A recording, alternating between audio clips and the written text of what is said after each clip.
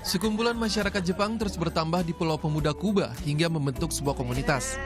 Mereka telah menetap di pulau itu sejak Perang Dunia Kedua. Negara asal mereka yang porak-poranda akibat serangan blok sekutu membuat mereka harus mencari tempat tinggal baru. Akio Miguel Harada salah satunya. Pria 83 tahun ini telah turun-temurun membangun keluarga di pulau yang terletak di selatan pantai Kuba. Ia tinggal bersama seorang istri dan juga anak serta cucu kembarnya.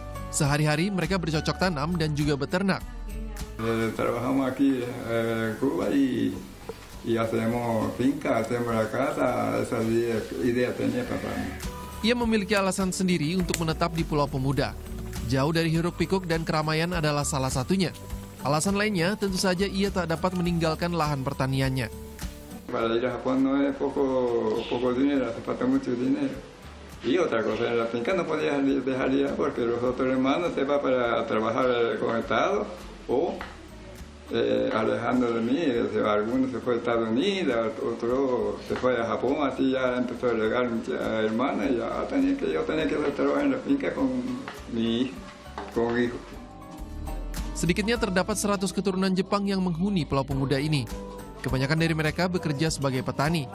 Ini dilakukan untuk mempertahankan tradisi mereka sebagai keturunan Jepang. Keluarga mereka pun masih gemar memasak makanan khas Jepang dan mengundang kerabat untuk bercengkrama.